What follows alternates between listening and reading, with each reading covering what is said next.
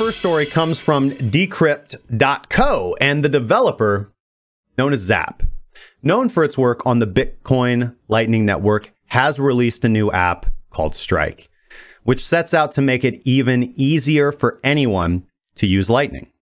Now, the app will allow customers to make payments on Lightning using a debit card or bank account. Now, the Lightning Network remains experimental as well as complex to interact with, and non custodial wallets require setting up more of a dedicated and specialized Lightning node. Uh, with the barrier to entry currently being fairly high on utilizing Lightning, adoption has struggled to gain traction in recent years. Now, Zap is hoping that by dealing with the complicated Lightning details on the back end, it can encourage greater adoption, spurring more transactional use for Bitcoin. A Zap founder Jack Mallers, announced strike in a Medium post yesterday.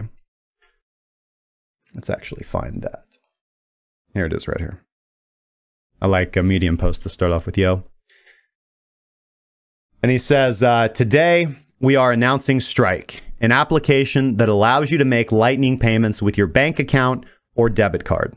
Adding it's an application sitting on top of our infrastructure piece, Olympus, designed to usher in an era of Bitcoin that we believe has the best shot of achieving our mainstream hopes and desires. Now, what the Strike app will allow users to do is attach their bank account or debit card to the app, similar to how PayPal functions.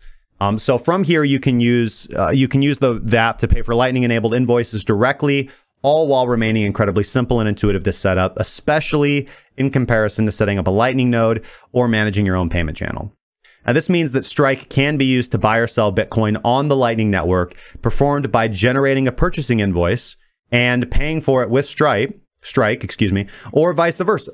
Uh, as well as for remittance payments by easily shared QR codes or as a convenient means of internet tipping. You can literally use this for anything you want. Now, in order to deliver all the advantages of Lightning, such as cheap and instant Bitcoin micropayments while eliminating the drawbacks, Zap has had to make trade offs. Uh, you know, this comes down to kind of the blockchain trilemma, but they've made trade-offs. Unlike non-custodial Bitcoin wallets where users control the keys to their own Bitcoin, all of the funds will be held by Zap themselves as an intermediary, similar again to how PayPal and every other exchange functions.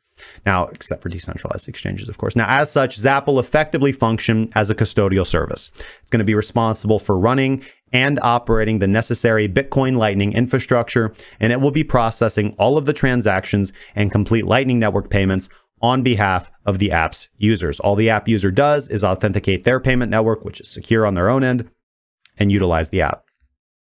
Now, the difference between how Strike functions and how a typical bank completes a transaction is that the payment or transfers made happen in the background over the Lightning Network rather than through traditional wire transfers or banking networks. This is what allows you to have instantaneous settlement.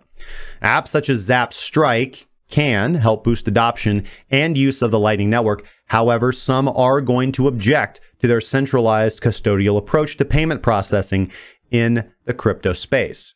Now, while that is true, more sophisticated users who wish to claim more complete control over their assets can just as easily enough move and manage their Bitcoin in private wallets as required or run their own Lightning node.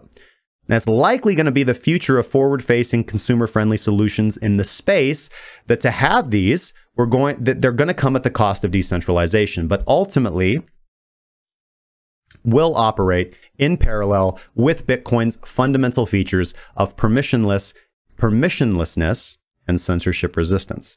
So to make that very clear, what Zap has created here with Strike is very similar to the same function that everybody utilizes every day, and that's going to be a centralized exchange.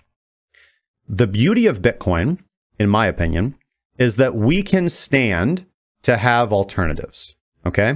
We just have seen, I think the Peter Schiff brings to highlight a very good point, And I've had time to think about this a lot. Now, again, the reason why I purchased Bitcoin in the first place, all the way back in 2016, was to have censorship uh, resistant, permissionless, unconfiscatable funds.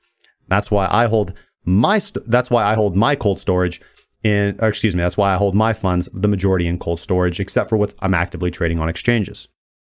And there's a huge difference between my trading account and my investment portfolio. I invest in Bitcoin. That's Bitcoin that isn't touched, hasn't been touched.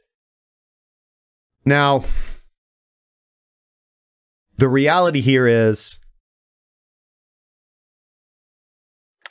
my grandmother is not going to be able to run a full node. It's not going to happen.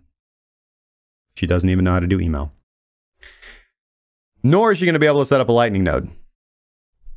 So, in her case, somebody who isn't putting a lot of uh, money into the system, anyways, uh, into Bitcoin, anyways, uh, Coinbase is probably her best bet.